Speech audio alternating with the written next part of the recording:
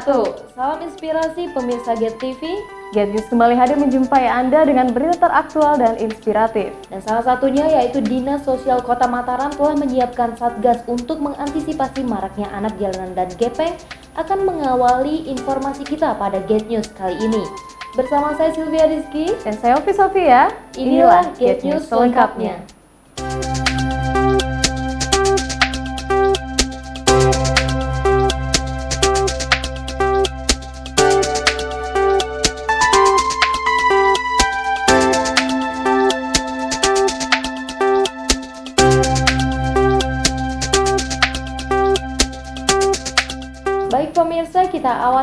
Informasi pertama.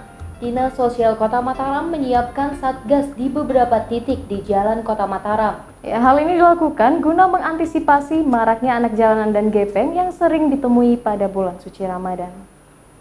Maraknya anak jalanan dan gepeng yang kerap meminta-minta di beberapa titik jalan di Kota Mataram, terutama pada bulan Ramadan, membuat Dinas Sosial Kota Mataram menyiapkan satgas untuk mengantisipasi para gepeng yang kerap kali meresahkan masyarakat. Dinas Sosial sudah menerjunkan satgas di beberapa titik yang dinilai kerap menjadi lokasi tempat mangkal para gepeng dan anak jalanan. Titik-titik yakni Jalan Erlangga, Perempatan Islamic Center, dan Jalan Pejanggi, Kota Mataram. Kita uh, pos pantau itu tiga titik, titik dekat antara Islamic Center dan BI, kemudian Erlangga dan Golkar mereka kita tempatkan dua-dua-dua memantau sambil lihat nah dari pantuan itu baru kita lihat kita potret apa kejadian-kejadian itu sambil terus yang lain itu keliling Adanya posko yang dibuat oleh Dinsos Kota Mataram memang tidak seperti tahun lalu dengan mendirikan tenda-tenda di beberapa titik. Namun baginya hal ini sudah lebih dari cukup, sebab sampai saat ini belum dijumpai adanya anak jalanan dan gepeng yang sering mangkal selama Ramadan. Pihaknya menghimbau kepada seluruh masyarakat khususnya yang ada di Mataram agar bekerja sama dengan Dinsos untuk melaporkan jika ditemui adanya anak jalanan dan gepeng yang mangkal di beberapa jalan di kota Mataram. Dari Mataram, Nusa Tenggara Barat, Emma Widiawati, Get TV. Ya pemirsa, siapa yang tak mengenal kurma? Ya, buah yang satu ini biasanya selalu kita temui saat bulan Ramadan. Kurma banyak diburu sebagai menu makanan sahur dan berbuka. Tak ayal, para penjual buah khas Timur Tengah ini pun menjamur. Momen satu kali setahun ini tidak ingin dilewatkan begitu saja oleh para pedagang, terutama di kota Tua Ampenan. Seperti apa? Ini dia liputannya untuk Anda. Jalan utama Ampenan nampak berbeda. Kurma kecoklatan dipampang di pinggir jalan. Ada yang dimasukkan dalam toples bening, ada juga yang sudah dikemas rapi. Meski menggunakan lapak sederhana, namun para pedagang memikat pembeli dengan warna buah kurma yang mencolok. Ya, semenjak memasuki bulan Ramadan, pedagang kurma pinggir jalan kota tua Ampenan ini sudah mulai menjamur. Di sini, buah kurma banyak pilihan rasa dan jenisnya. Warga bebas memilih tergantung selera dari yang rasanya biasa-biasa, manis hingga sangat manis. Harganya juga bervariasi tergantung negara asal dan tingkat rasa manisnya.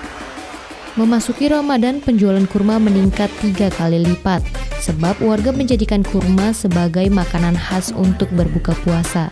Penjualannya makin meningkat. Kalau dia pas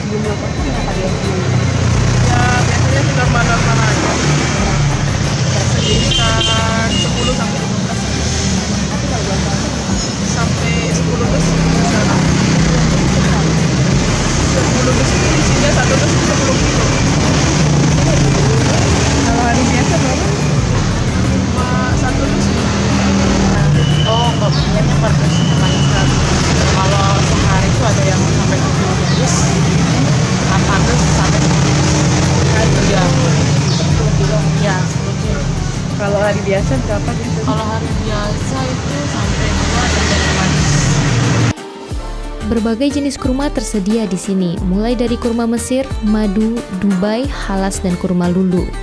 Para pedagang mengaku kurma yang paling banyak dicari adalah kurma Mesir sama halas. Harganya pun bervariasi dari Rp50.000 per kilogram hingga Rp130.000 per kilogramnya.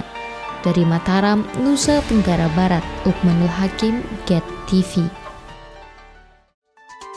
Pemirsa, jika Anda penikmat makanan bubur, agaknya harus mencoba bubur palopo, makanan khas masyarakat Taliwang, Sumbawa Barat. Dalam bahasa asli Sumbawa, bubur palopo berarti bubur kerbau. Dinamakan demikian karena bubur palopo terbuat dari susu segar kerbau. Seperti apa?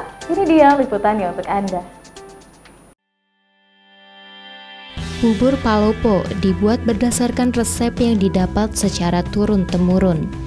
Dengan proses sederhana, susu segar yang baru diperah dari kerbau dicampur dengan gula merah dan air rebusan terong kuning, menciptakan rasa manis dan gurih.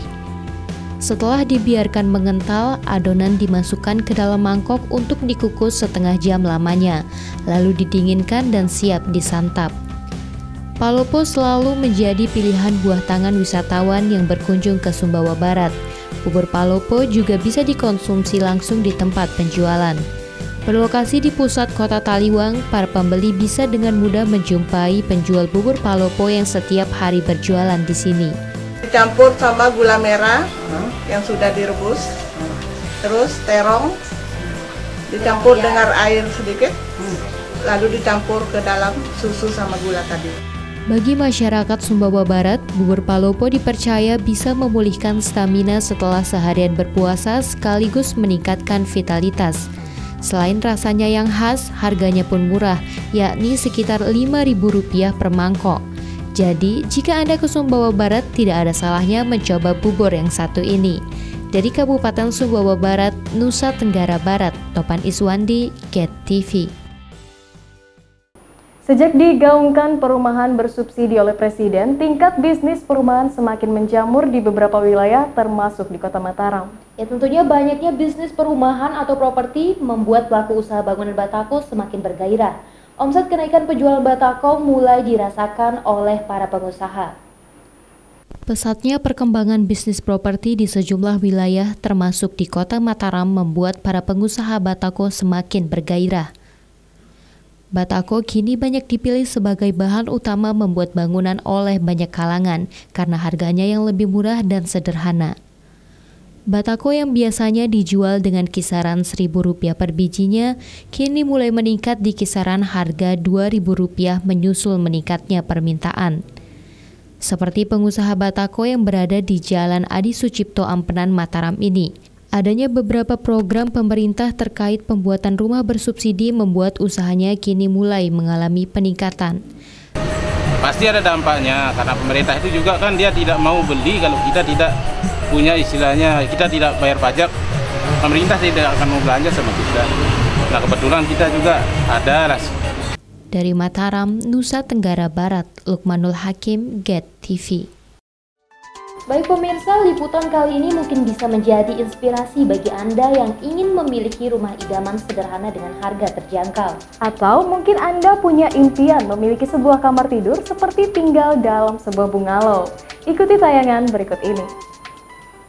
Persaingan bisnis kayu yang semakin tinggi menyusul bertambahnya jumlah penjual kayu di Mataram membuat persaingan kini semakin ketat.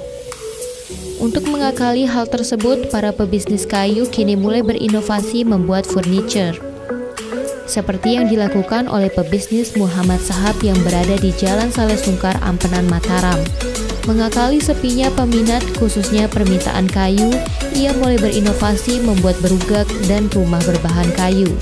Rumah ini didesain dalam bentuk rumah panggung, memiliki satu kamar, teras kecil di bagian depan, dan memiliki ukuran sekitar 4 x 6 meter. Bangunan mungil ini berbahan dasar kayu, kayu yang digunakan dari Kalimantan, Sulawesi, atau bahan kayu lokal Lombok. Berbahan dasar kayu, bangunan seperti ini mampu bertahan hingga 10 tahun. Ya, yang ini kita jual kisaran yang kalau pemesannya biasanya dari mana pak? Pemesan sementara ini banyak dari wisata ini. Ini Gili Terawangan. semua di air, minum, Terawangan, Oh, ya, ya. Dengan dibantu 10 orang pekerjanya, menurut pemilik usaha ini, Muhammad Sahab, satu bangunan rumah seperti ini bisa diselesaikan dalam waktu 3 minggu saja. Harganya dibanderol mulai 50 juta rupiah. Namun, jika Anda pandai menawar, tentu harga ini masih bisa dinego. Muhammad Sahab, pemilik bisnis kayu ini mengaku dengan adanya inovasi yang ia buat, kini mulai mendapat pesanan yang banyak dari sektor pariwisata. Bahkan omset penjualannya untuk membuat inovasi rumah kayu mencapai 40 juta rupiah. Jadi, bagi Anda yang ingin memiliki rumah sederhana dan murah, setidaknya bangunan semi permanen ini bisa menjadi inspirasi mewujudkan impian Anda.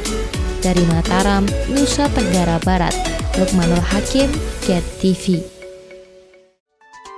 Baik pemirsa, tayangan tadi sekaligus menutup perjumpaan kita pada Get News kali ini. Perbaharui terus informasi terlengkap dan inspiratif Anda hanya di Get News. Dan jangan lupa kunjungi kanal streaming kami di www.getmedia.co.id serta fanpage Get Media Channel di sosial media Facebook serta YouTube. Saya Sylvia Rizky Dan saya Opi Sofia. Kami mewakili seluruh kru yang bertugas mengucapkan Selamat menunaikan ibadah puasa 1439 Hijriah. Mohon maaf lahir dan batin. Wassalamualaikum warahmatullahi wabarakatuh. Get Inspiration.